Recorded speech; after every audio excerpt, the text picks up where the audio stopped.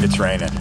If you have to throw your fly over your four season tent and set it up, that's the beauty of the Storm Star is you lay it out, tack it down, put it up, it's waterproof the whole time because I'm not gonna have a break in the weather right now to get to get ready and be rain free and lay it out and throw my so my inner tent will be wet. So that's the reason to use a true four season. This is what I mean by a true four season.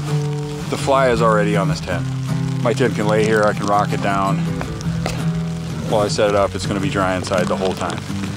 I'm gonna put the, the wider end head in towards the wind. Wind's gonna probably rip over the top here.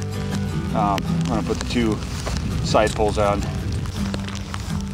parallel to each other and you cross them and that's what creates the strength. That stability.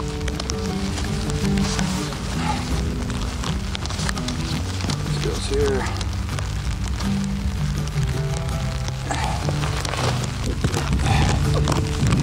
On.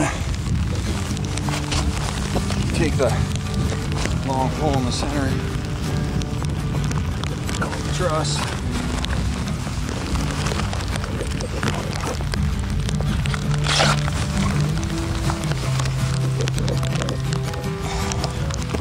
Where these intersect, what creates the strength.